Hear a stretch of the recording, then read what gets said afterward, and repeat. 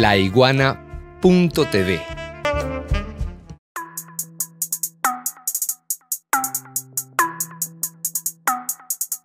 Seguidas en las finanzas y además se establece una especie de dictadura mundial de la economía desde Estados Unidos. Tratan de establecer un modelo colonial, Así es. un modelo colonial de permisos de los FAP, porque entonces le dicen a un país, Así es.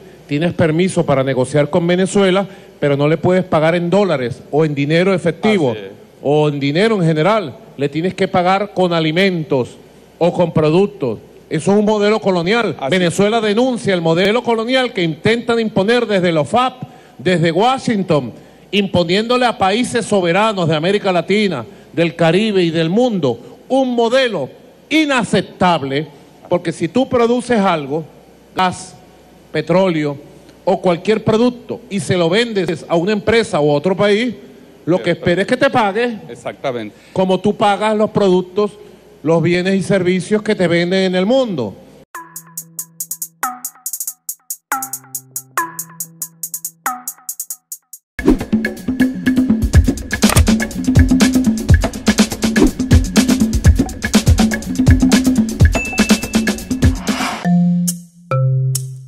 laiguana.tv.